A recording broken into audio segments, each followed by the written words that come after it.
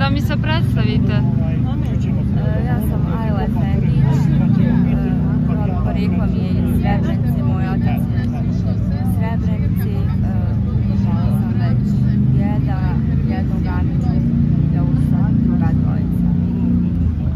A mi smo našli, tako evo, Znači dvojica Amidža sutra ukopavate. dva, dvoj, dva brata, Dva brata. su braća od.